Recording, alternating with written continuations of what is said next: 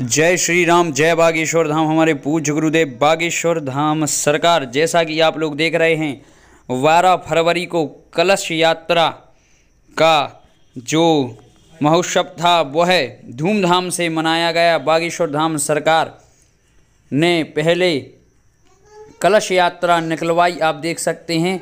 हमारे पूज्य गुरुदेव गाड़ी में सवार होकर और पूरी जो भक्त जो भक्तों की आस्था है, वह पीछे कलशों को ऊपर रखकर बागेश्वर धाम सरकार में कलश यात्रा, भव्य कलश यात्रा निकली और भारी जन सैलाब के साथ यह कार्यक्रम जो अब होने जा रहा है कल से श्री हनुमंत कथा राजन दास जी महाराज जी के पावन मुखारविंद से आप सुनिए।